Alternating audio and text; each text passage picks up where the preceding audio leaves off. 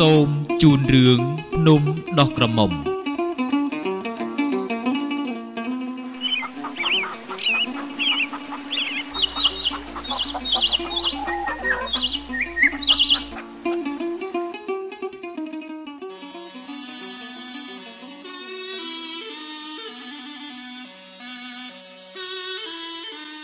្នំដោះក្រមុំ ស្ថិតនៅទីរួមខេត្តមណ្ឌលគិរី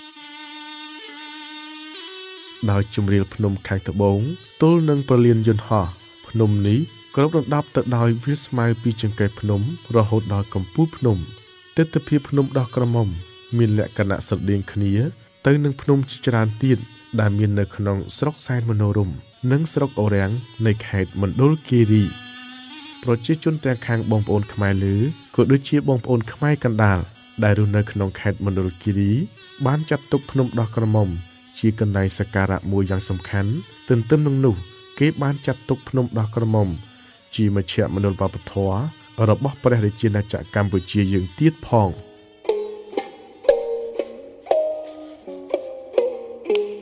ការហៅឈ្មោះថាភ្នំដោះក្រមុំ គឺហៅតាមការប្រសិទ្ធនាម របស់មន្ត្រីរាជរដ្ឋាភិបាលម្នាក់ដែលបានចុះទៅបំពេញបេសកកម្មរៀបចំដែនដីតំបន់ក្បែរភ្នំនោះ កាលពីចុងទសវត្សរ៍ឆ្នាំ1950និងដើមទសវត្សរ៍ឆ្នាំ1960ដើម្បីបង្កើតខេត្តថ្មីមួយទៀតគឺខេត្តមណ្ឌលគិរី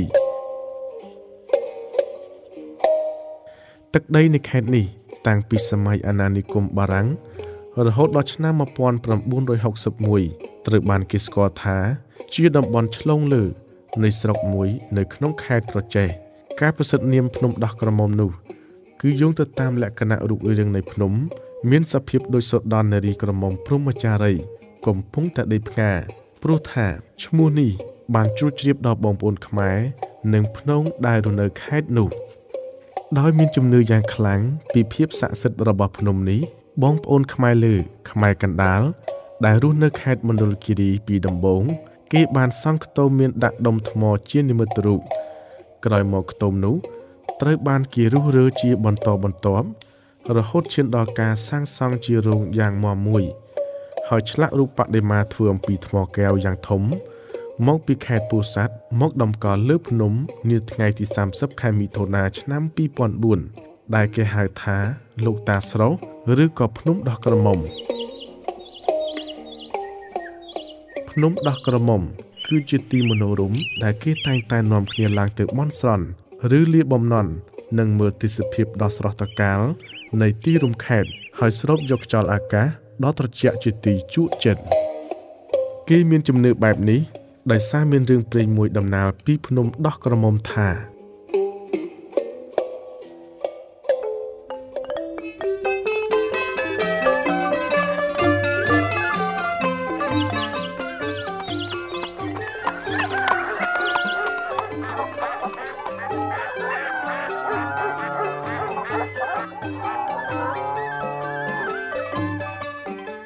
មានបរិសម្នាក់ឈ្មោះថាស្រស់រស់នៅក្នុងភូមិអូទ្រូស្រស់តែងតែធ្វើដំណើរជាញឹកញាប់ទៅលេងបងប្អូននៅត្រពាំងអំពិលហើយបានឃើញនារីម្នាក់ឈ្មោះថាផ្លុំមានរូបសម្បត្តិស្រស់ស្អាតនៅក្នុងភូមិនោះបន្ទាប់មកបរោះស្រស់ក៏ចាប់ចិត្តស្រឡាញ់នារីផ្លុំហើយមានទំនាក់ទំនងជាមួយនាងរហូតបានស្គាល់ចិត្តគ្នាថ្ងៃមួយស្រស់បានសុំឪពុកម្ដាយឲ្យទៅចូលស្ដីដណ្ដឹងនាងផ្លុំដើម្បីរៀបការជាប្តីប្រពន្ធ ឪពុកម្ដាយនាងផ្លុំក៏យល់ព្រមឲ្យកូនរៀបការជាមួយនឹងស្រុសតែពុំទាន់កំណត់ពេលវេលាទេព្រោះមង្គលការអាចកំណត់ទៅបានលុះត្រាតែខាងកូនកំឡោះអាចរកបណ្ដាការសម្រាប់ជូនទៅខាងកូនក្រមុំសពគ្រប់មានដូចជា ក្របីគោជ្រូកពីងសម្រាប់ដាក់ទឹកស្រាបឺតព្រមទាំងគ្រឿងអលង្ការជាដើម ក្នុងពេលដែលគ្រួសារស្រុសរកចំនួនបានហើយ ខាងគ្រួសារនាងផ្លុំ ដែលកំពុងត្រៀមលក្ខណៈទទួលកូនកំលោះនោះក៏ចំពេលខែប្រមូលផលស្រូវដែរបញ្ហារៀបការក៏ត្រូវបានពន្យាលពេលសិនព្រោះជនចិត្តភ្នងមានជំនឿថា អ្វីអ្វីសុទ្ធតែមានប្រលឹងបើប្រមូលផលស្រូវដាក់ក្នុងជង្រុកហើយមិនទាន់បានសែនមិនអាចយកស្រូវទៅបុកបរិភោគបានទេឬប្រើប្រាស់ក្នុងពិធីមង្គលការបានឡើយព្រោះនឹងធ្វើឲ្យមានគ្រោះចង្រៃដល់គូសកលថ្មី ដូច្នេះហើយ គេត្រូវរៀបចំពិធីសែនប្រលឹងស្រូវជាមុនសិនថ្ងៃមួយគ្រួសារនាងផ្លុំបានរៀបចំសែនប្រលឹងស្រូវ ដើម្បីអំពាវនាវហៅប្រលឹងស្រូវ ដែលវង្វេងបាត់នៅក្នុងព្រៃដោយត្រូវសត្វស៊ីបំផ្លាញឬដោយអ្នកថែរក្សាព្រៃភ្នំជ្រោះច្រឡងដងអូចាប់យកទុកនៅថ្ងៃនោះដែរនាងផ្លុំក៏បានទៅដងទឹកយកមកប្រើប្រាស់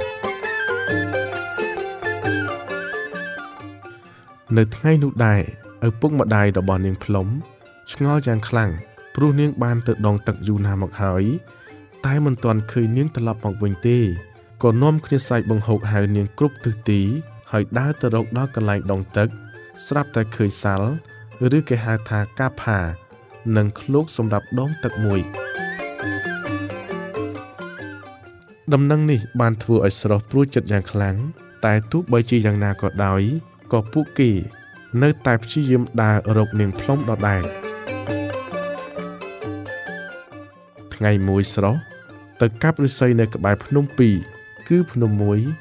មានប្រលឹងលោកជាជូហូថែរក្សា និងភ្នំមួយទៀតមានប្រលឹងលោកយាយជីកថែរក្សាដែរពេលឃើញស្រស់ជញ្ជូនឫស្សីមកដាក់ក្បែរកន្លែងដងទឹក លោកយាយទាំងពីរក៏បានប្រាប់នាងផ្លុំឲ្យទៅជួបគូដណ្ដឹងរបស់នាង ខណៈនោះស្រស់មានការភ្ញាក់ផ្អើលយ៉ាងខ្លាំងនៅពេលបានជួបគូដណ្ដឹង នាងផ្លុំបានរៀបរាប់សេចក្តីនឹករលឹករបស់ខ្លួនចំពោះស្រស់និងដំណើរជីវិតរបស់នាងនៅក្នុងពេលបាត់ខ្លួន នាងបានបញ្ជាក់ថាលោកយាយតាំងពីនាក់បានខាត់នាងឲ្យនៅថែរក្សាទឹកដីម្ដុំអស់នេះពេលនោះនាងក៏សុំឲ្យស្រស់មករស់នៅជាមួយនាង ដើម្បីសាងសុភមង្គលជាមួយគ្នា ស្រស់សប្បាយចិត្តណាស់ក៏យល់ព្រមទៅតាមការស្នើសុំរបស់នាងផ្លុំបន្ទាប់ពីការបាត់ខ្លួនរបស់នាងផ្លុំហេតុការបាត់ខ្លួនរបស់ស្រស់បានធ្វើឲ្យមានការជ្រួលច្របល់ពេញភូមិតែម្ដងដូច្នេះគេក៏នាំគ្នាប្រារព្ធពិធីបន់ស្រន់ក្រោយពីការបន់ស្រន់រួចហើយ គេមិនឃើញមានការបាត់ខ្លួនអ្នកដតីទៀតឡើយ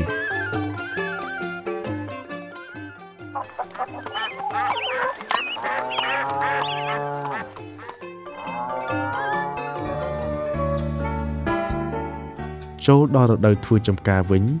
ឪពុកម្ដាយស្រុសបានទៅធ្វើចំការនៅឯភ្នំជីហូនិងភ្នំជីគួរហើយក៏បានជួបស្រុសនឹងផ្លុំអ្នកទាំងពីរបានរៀបរាប់ថាខ្លួនត្រូវនៅជួយថែរក្សាភូមិស្រុកម្ដុំនេះសូមពុកម៉ែបងប្អូនទាំងអស់កុំពិបាកចិត្តអីបើមានទុកសូមអ្នកទាំងអស់ធ្វើពិធីសែនព្រេនរំលឹកដល់ម្ចាស់ទឹកម្ចាស់ដី និងបារមីភ្នំទៅនឹងបានសេចក្តីសុខហើយម្យ៉ាងទៀត លោកយាយទាំងពីរបានផ្ដាំថា ចាប់ពីថ្ងៃនេះទៅ សូមឲ្យអ្នកស្រុកនាំគ្នាហៅភ្នំនេះថាភ្នំស្រស់ផ្លុំវិញ។